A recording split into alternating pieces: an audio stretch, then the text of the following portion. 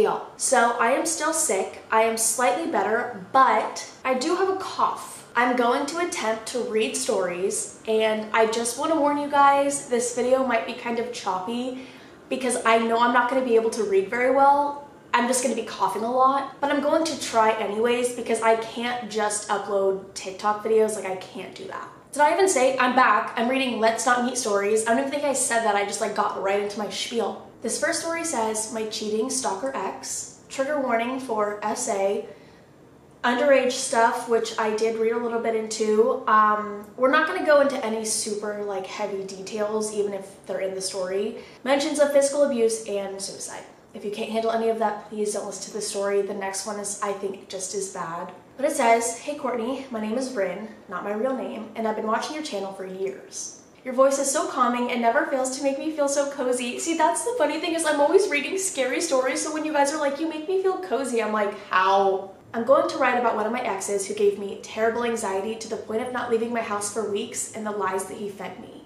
This one's long, so I apologize for any dry throats. Yeah, this might be rough, but we're gonna do it. To give some context, this guy who I'll call Steve, also not a real name, I met through Discord when I was 15. He was two years older than me and used it to his advantage from the start. We first met IRL with our Discord friend group and he made it very clear he wanted to be in a relationship with me. I was young and naive and played along with it, not really even sure that I wanted it in the first place. This kind of attention was pretty new to me since I was just starting to grow out of my ugly years. I doubt you were ever ugly, but okay. When we were out with our friends, Steve would constantly hold my hand, carry my bag for me, even paid for my dinner, and just generally love bomb me. Again, I wasn't used to it and I just played along. At the end of the outing, he told me he was in love with me and wanted to be my boyfriend. I, though majorly excited by this affection, was a little wary but said yes. We had another mutual friend called Jake, fake name, whom I had known before I met Steve. Jake was another issue of its own. He was three years older than me, which would make him 18 at the time, and would constantly insinuate that he wanted to get in my pants. That I'm sorry, that's so fucking weird. Even though I was 15, I looked mature for my age and he would never let me forget it. He would make remarks on my chest, my figure, and once even said he would pay me to have sex with him. He said it in a jokey manner, but it was very obvious through that conversation and the many glances he would steal to look at me that he did mean it. Although he was a creep, I still stayed friends with him because I didn't have many at the time. Going back to Steve, we went out on a date with Jake accompanying us for dinner. That's weird. The dynamic was very strange. Okay, yeah. Jake, despite being the oldest out of the three of us, would pretend to be Steve and my kid, even calling me mommy once. Even though I was weirded out, I didn't say anything about it. Throughout dinner, Jake would take credit for getting me and Steve into a relationship since he was the one who introduced us indirectly. Kind of became an inside joke that Jake would constantly remind us of. Steve was also pretty chummy with Jake, even though he was making advances at me. A week goes by, and Steve was love bombing me the whole time. He said he loved me and cared for me more than anyone else ever could. My guess is he was trying to manipulate me so I wouldn't leave him, but the constant I love yous and such made me cringe. It's also worth noting that throughout this time, he would only ever meet me at my house or outside, never at his place. He also had a habit of making me pay for his stuff. Even when we went out for dinner, he would make me pay for his food in his cab home. However, I was still dizzy with the idea of being in a relationship and I didn't question it. Steve, I hate this word. I'm gonna say it, but I hate this word. Steve was also super horny. I, I don't know why I hate that word. I'm like a full grown adult and I'm like, it's icky. Um, okay, so he was super horny the entire time and would ask me to have sex with him constantly. I did, which I regret, and while it wasn't abusive or anything, it was just not good. He would also pressure me to do risky things in public, which I did not want to do, since the repercussions of being caught would result in a pricey fine or even jail time in my country. He took delight in my hesitation and once stood stuck to me in the back of a taxi even though I kept telling him to stop. After every one of these events, he would say he loved me and he would never hurt me and just wanted me to feel good. Nothing would stop him from wanting to do me, be it at my age, my parents in the next room, or even the lack of protection. It was also apparent to me that he found the sexual aspect of our relationship exciting because I was a minor and he was over the age of consent in my country. Guess what though? After the first week of our relationship, Steve told me he was still in love with his ex-girlfriend. He even told me he was using me as a rebound. When I told him I needed some time to think about everything, he would try and say that I was being mean to him and that he still loved me. I hate this man. I did not cave this time, and I didn't speak to him for a few days. During these few days, he would text me saying he loved me and beg me to stay with him. I was actually pretty sad in those few days because I felt so betrayed and confided in my older sister about it. I finally texted him after a while and relented, agreeing to meet up with him for lunch the next day. So the next day, Steve shows up at the restaurant half an hour late with a bouquet of orchids and a teddy bear in hand. Which would be cute if you didn't realize that those orchids were used for prayers to the dead in my religion. Steve is love bombing me again at this point, profusely apologizing and even saying that him admitting his feelings for his ex to me was an act of kindness and that he shouldn't have listened to his soul urging him to tell me the truth. He was also trying to make out with me in this public restaurant with a dozen conservative older women who would throw us annoyed glances. I was also diagnosed with anxiety at the time, and he knew this. He was trying to make me feel uneasy. When I get home that day, I tell one of my friends that I wanted to break up with him, and this is where the real trouble begins. In that week, I was throwing a Christmas party at my house and invited my online friend group to come to my place, which included Steve and Jake. However, my parents, after finding out about what had happened, told me to never let Steve come over to my house. So I told Steve as such, and he was upset. He told me he would bring a bottle of wine over and get on his knees and beg for forgiveness from my father. I thought this was hilarious, but never said so because he was being so serious about it. I gave him a firm no and said he was not allowed into the party. He finally gave up and said, fine, we left it at that. Keep this in mind. On the night of the party, I was busy hosting and didn't look at my phone. To my surprise, Steve was blowing up and texting Jake for updates on me. He was asking him what I was doing, who I was talking to, and just trying to keep tabs on me as much as he could. Jake pulled me aside at the party, and we both knew I wanted to break up with Steve. Jake told me that I should do what I have to do before Steve got too into me. I think it's a little late for that, though I knew he was trying to separate us so he could have a chance to flirt with me again. Later that night, my friend who I had confided in and I had a sleepover at my place. She's gonna help me break up with Steve, so the two of us huddled in bed and I started texting. Started off by telling him I felt like we were too different and that I wanted to break up and that I wished him the best. He did not like this. At first, he didn't believe me. Then he started cussing me out. Then he said he loved me, then cussed me out again. He would say things like, You're so emotionally hollow, no one would ever love you. And do you think other people would actually love you? Everyone's just looking at your body, I'm looking at your soul. He was just trying to manipulate me, and it was very clear. It took him two hours to finally calm down, and he accepted the fact that I was breaking up with him. He typed an insanely long paragraph, and among those words was a sentence that haunted me. I waited four hours at the train station near your house for a chance I would see you today. I froze. There was no way he meant it, right? I asked him for clarification and he confirmed that he did it. I stopped talking to him at that point, putting my phone down. My friend could tell I was shaken up, so she distracted me for the night by watching a few TV shows. However, throughout the next few weeks, he would send me disturbing texts about looking at me through my windows or lurking around the train station that I frequented. I spent two weeks in my house, curtains drawn and lights dimmed so he wouldn't see me. He never acted on his words as far as I knew, but to a 15 year old, it freaked me out. He also threatened to send people my NSFW pictures that I sent to him as a form of blackmail. My sister could tell I was very distressed, and one night while I was bowling, she came into my room and asked me what happened. Told her everything, and she was angry with Steve, even threatening to call him and scold him. Told her not to, and in an effort to help me feel better, she booked an appointment with a therapist for me. Months go by and I become friends with the ex that Steve told me he was in love with. Turns out they got together after we broke up and he verbally abused her, even telling her to kill herself, and would constantly compare us. Whenever they had arguments, she would stand up to him and he would say, Bryn would never fight with me like this, and talk down to her. They broke up and she told me about all of his aggressions. Here's another shocking fact. Remember him saying that he waited for me at the train station for four hours? Well, he lied. He was actually at her house. You want another shocking fact? He also sent Jake my NSFW pics after we broke up without my consent. I'm 18 now and I'm friends with the ex he had after the one I just talked about. They're an amazing person but was treated way worse than us. They were pressured into having sex, verbally abused, and even slapped multiple times by Steve. I also heard Steve was caught having relations with a 14 year old when he was 19. So, creepy, cheater, pedo ex, I hope we never meet again. Dude. I am so beyond sorry that you had to go through that.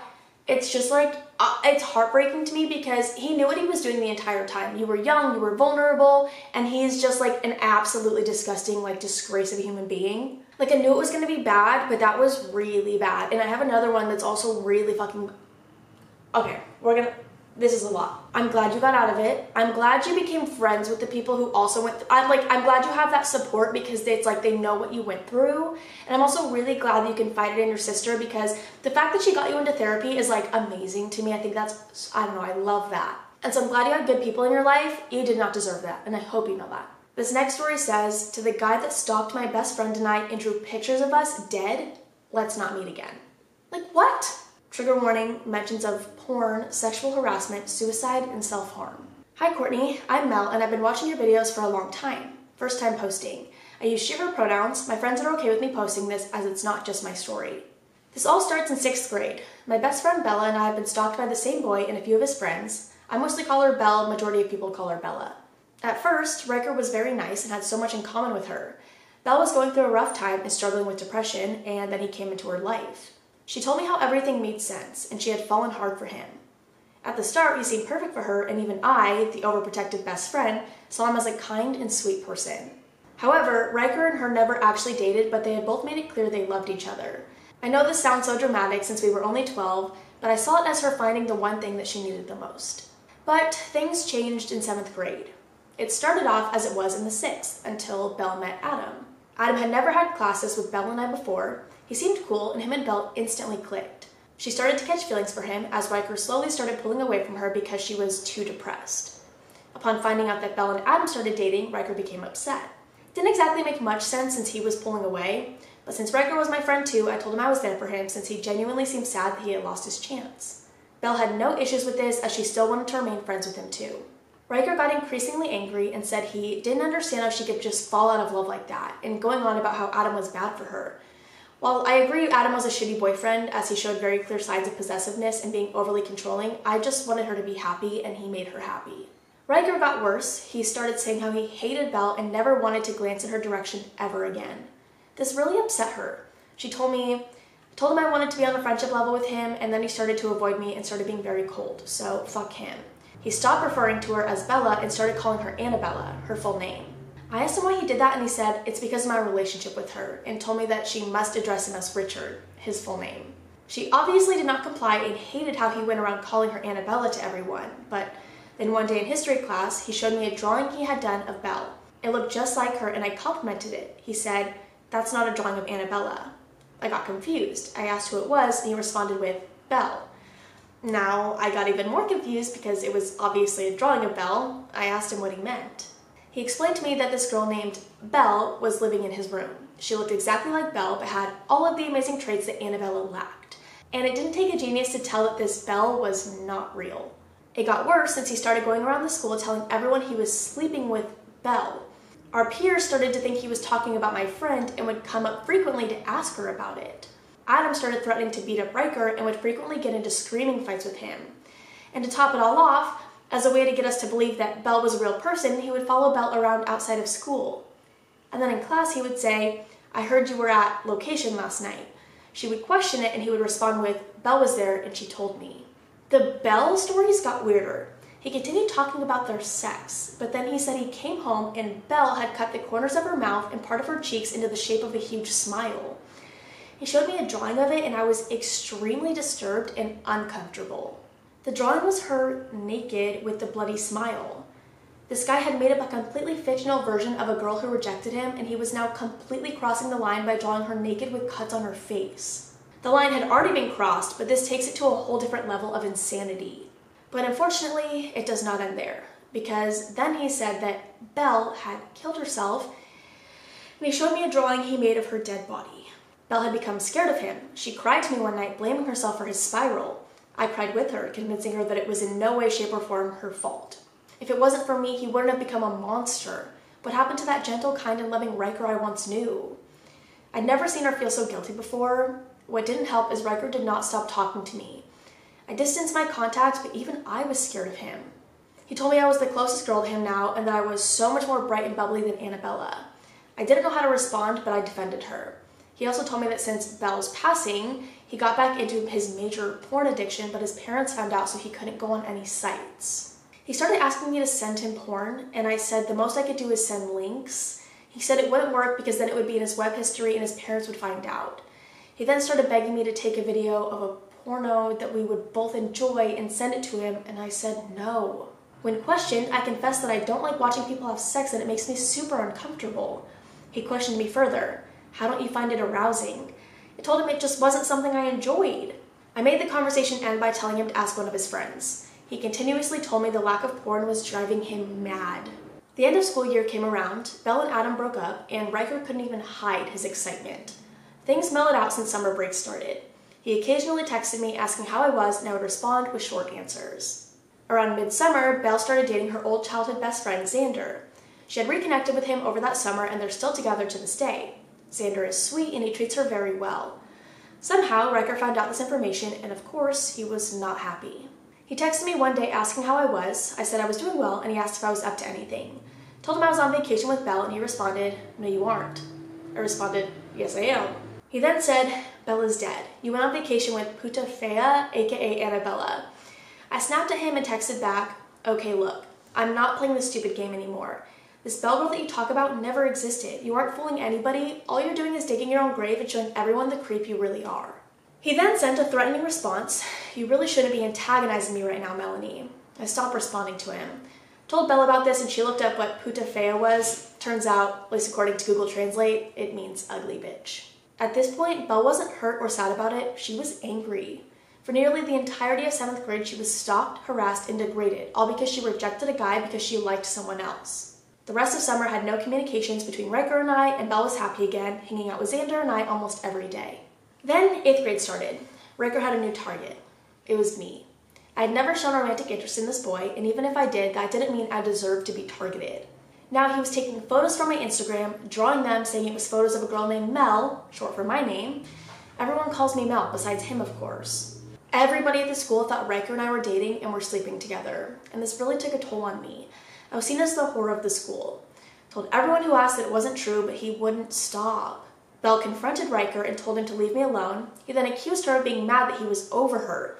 I tried ignoring it, but I was told by Xander and my friend, now boyfriend Chris, that he was now making drawings of me naked. And the same cycle happened. He claimed she cut Smile for me into her stomach, and the next day she killed herself. He made drawings of these two. I never saw them, but I knew they existed from other people. The rest of the year was online since COVID happened, so I didn't hear anything from him. I started feeling better mentally. Little did I know, him moving towns and schools being online was not going to stop him. Ninth grade happens and he starts dating our friend Viola, Chris's twin sister, and she claims she can see how much he's changed and that he's nice. Belle and I could see right through it, and alas, we found out we were right.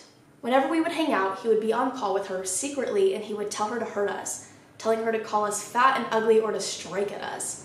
Viola would playfully punch our shoulders or give our arm a small tap, but Riker demanded that she hit us hard, she always refused. She blocked him and he responded by blackmailing her. I won't get into detail on that since it's very personal to her. Riker then tries getting Xander and Belle to break up since Xander is a year older and a grade ahead of Belle, and he likes to call him a predator and groomer even though that's far from the truth.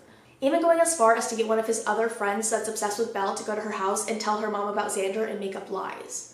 Belle's mom knew everything, including how obsessed these boys were and how Xander was very good to Belle. Riker left us alone for the remainder of 9th grade and a majority of 10th grade until I started dating Chris. Chris was no longer friends with Riker ever since he started going on about the Mel and Belle stories. Riker began texting me over Facebook telling me how horrible Chris was to his ex-girlfriend. This, of course, was not true. Chris had never been in a relationship before me. But since I started dating Chris, Riker will not stop throwing a wrench into my relationship to destroy us. I'm lucky that Chris is the most gentle and loyal human being and he refuses to let go. I've had so many panic attacks and breakdowns, crying to him and to Belle over Riker's harassment, potentially leading to Chris leaving me. Belle thinks it's finally time to get the police involved, but I'm scared.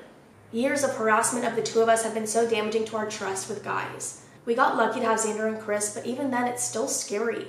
This has been ongoing since 7th grade and now in 11th. We still get those messages, even if it's no longer in person, it's still just as bad.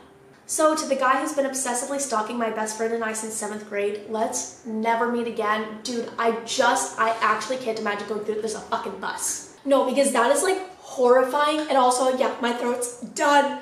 I'm glad that happened now though. Wait, it's not happening. It's not going away. Okay, I think it's better. I would have like, I don't know. I don't know what you do in that situation. I'm, I've also been out of high school for a very long time, so I don't know like the protocol when stuff like that happens, but I feel like going to like a teacher or your parents or someone, like telling somebody what's happening because that's horrific.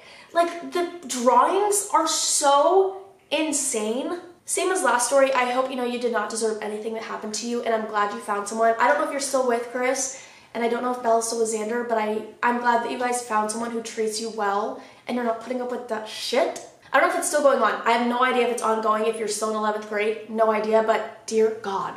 I'm actually very proud of myself for getting through those stories. I did cough quite a bit. I did clear my throat quite a bit, but I did it. I got it done. I'm sure you noticed I didn't upload last week. Um, I'm gonna have three videos this week. The one I put out Wednesday was actually a video I filmed last week, but I was too sick to like do anything with it. I just kind of rotted on my couch for a week. So I filmed that literally a week ago and I'm still kind of dying. So I'm hoping this sickness goes away soon. But yeah, I'll have three videos this week um, to make up for my lack of videos last week. Hopefully Hopefully you forgive me. Oh, and also if you guys have any stories like this that you want to share with me or the community, I will have my subreddit linked down below. I love you guys. I'm gonna go. I will see you in the next one. Bye.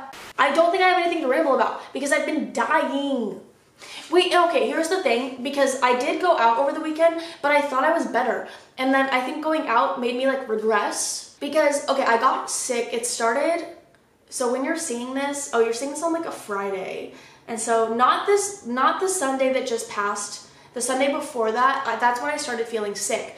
And so uh, I was sick, really sick Sunday, Monday, Tuesday. Wednesday was better. Thursday I felt fine. So Thursday was the first day I like went out and did anything because I, I felt fine. And then Friday I felt fine. Saturday I felt fine. Sunday I was kind of like, uh, I don't know. I think I'm getting sick again. And then yesterday, Monday, I'm filming this on Tuesday. Monday I was like, wait, it's back. So I don't know what's happening. I think I kind of fucked it up for myself by like doing stuff too quickly after I felt better, but whatever. It's not COVID, I took tests. Um, taken multiple, so yeah. But it is a cold and I'm not gonna leave my house until I'm better again. It's just annoying. I hate being sick. It's so boring. But yeah, so I have like nothing to tell you. I did go out, I did stuff like on Saturday, but nothing like super exciting to tell you about. Sorry. And surprisingly, I don't feel like my throat hurts that bad right now. Like I don't feel like I, the need to like cough so much. Like normally if I'm sick like this and I film a video, I have to just end it and then I have a cough attack for like an hour because I'm just like so over talking. I don't feel like that right now. So maybe I am on the up. Maybe I'm on the up. I don't know what that means. I think I'm getting better. I don't know. I don't know. But I am gonna go.